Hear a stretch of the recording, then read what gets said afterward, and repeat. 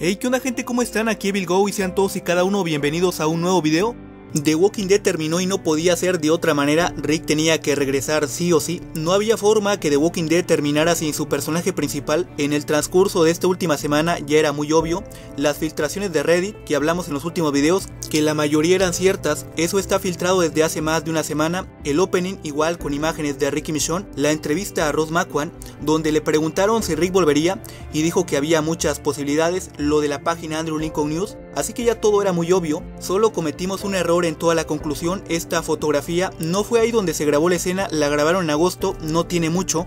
The Walking Dead tenía cuatro formas de terminar, la primera un final no muy bueno y sin la aparición de Rick, la peor forma, la segunda un final bueno pero igual sin Rick, la tercera un final malo pero con Rick, y la cuarta que creo que es la que se llegó a dar y la mejor, un buen final y el regreso de Rick pudo haber sido mejor pero dejaron muchas cosas al aire, no se explicó lo de la serie de Negan y Maggie, como les dije en uno de los últimos videos, entre las diferentes opciones que pudieron pasar es que aplicaran un Morgan y eso fue lo que hicieron, aplicaron un Morgan, cuando se fue a Fear, la explicación la vimos ahí mismo en Fear, donde fueron diferentes personajes a visitarlo al basurero y van a hacer lo mismo con Negan y Maggie, hasta Dead City veremos qué explicación le van a dar, habrá que esperar esa serie para ver qué explicación le dan para que ellos vayan a Nueva York,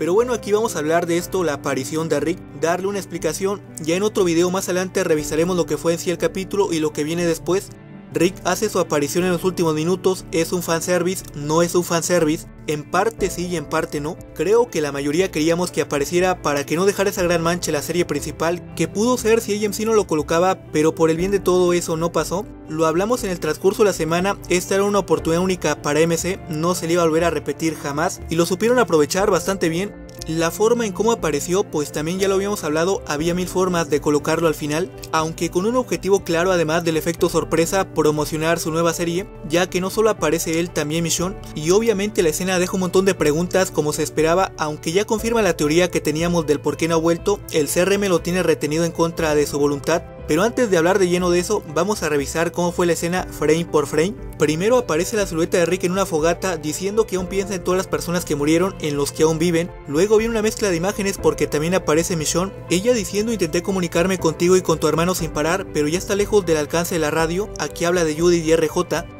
y luego continúan hablando de que no importa qué tan separados estén todos los personajes, el amor que se tienen los van a mantener unidos, como que aquí atraviesan la cuarta pared, nos están tratando de decir que aunque vendrán series separadas, Negan y Maggie, Daryl en solitario, Rick y Michonne, siempre van a tener la esencia de lo que fue la principal, las siguientes imágenes que vienen de Michonne, ya interesantes, está en una casa destruida, quemada, atrás su caballo, su katana y escribiendo algo en su libreta. Que esto de que escriben está algo extraño. Si de por sí ya no cuadra muy bien que fue justamente Michonne la que encontró todo esto, pero bueno, creo que lo quisieron hacer como Sherry lo hacía con en Fear, que le dejaba pistas. Ve el iPhone que encontró con Virgil en el barco de las letras japonesas, luego viene un plano de las botas de Rick, su mochila, todo esto es después de que se fue a buscarlo, es después de la temporada 10, creo que eso está claro, Luego viene lo interesante, la transición con Rick, que esta es la explicación a lo que encontró Michonne. Primero está lo que parece ser una isla, tenemos a un Rick destruido básicamente con ropa del CRM, tiene los tres círculos, está escribiendo algo en una libreta y luego viene una vista a las botas, la mochila, incluso aparecen las latas de JD del basurero que son suministros del CRM, también está el iPhone, todo eso que encontró Michonne en el barco lo colocó ahí Rick,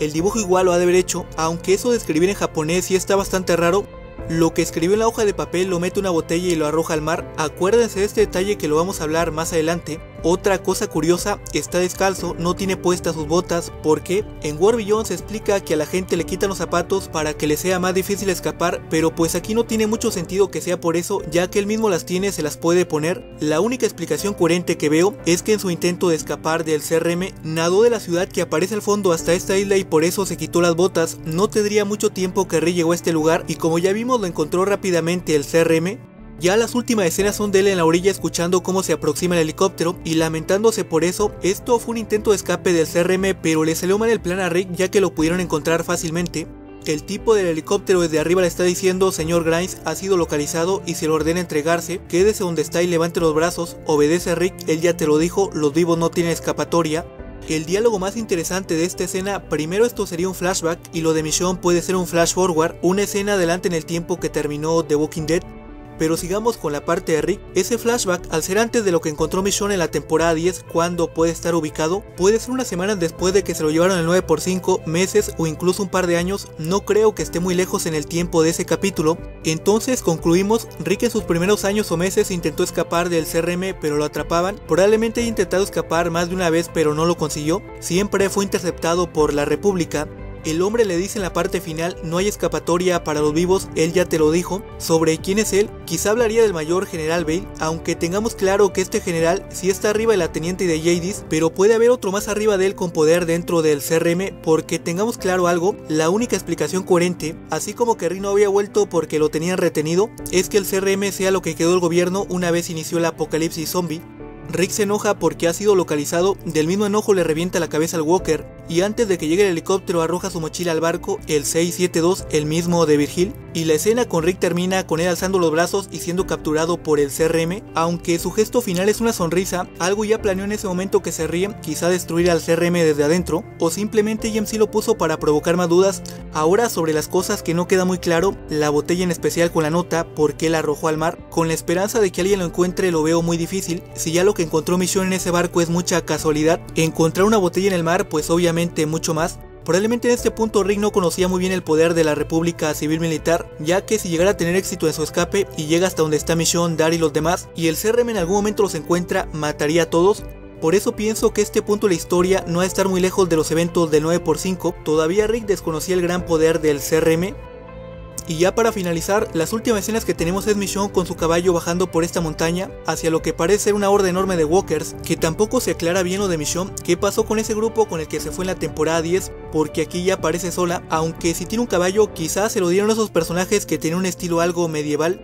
y eso es todo lo que revela la escena final de The Walking Dead. Dato curioso, aquí están viendo un par de imágenes comparativas entre Rick y Silas de War Beyond. Es el mismo uniforme. Recordemos que ahí Silas lo tenía para matar walkers. Hasta el arma es la misma. Puede ser que a Rick al principio lo tuvieron haciendo algo similar. Otra gran pregunta, si esa escena que vimos en el 11x24 es un flashback de hace años, ¿qué está haciendo ahora en el tiempo que terminó The Walking Dead? Logró entender que no hay forma de escapar más que quedarse y obedecer a la República. Si después de tantos años se ganó un cargo más alto, son preguntas que posiblemente serán respondidas en su serie del próximo año. Resolvió dos misterios, el primero por qué no ha vuelto, el CRM lo tiene bien vigilado y bajo amenaza, confirma la teoría que teníamos, Segunda, se resuelve lo que encontró Mission en el barco, Rick lo escribió, aunque ya les digo que lo de letras japonesas sí está algo raro, a no ser que ese iPhone ya las traía por default y no las escribió él.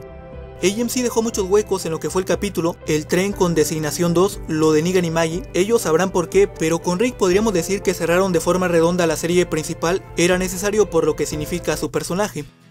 Saludos para Diego, Elgers, Gonzalo Vidal, José Carrillo, Saga, Mikey, tus clases de música, Emiliano Gómez, Benson Adrián, Marto, Brian Josué. Un enorme saludo para cada uno, espero que se la estén pasando excelente, así que por mi parte ha sido todo, nos vemos en el siguiente.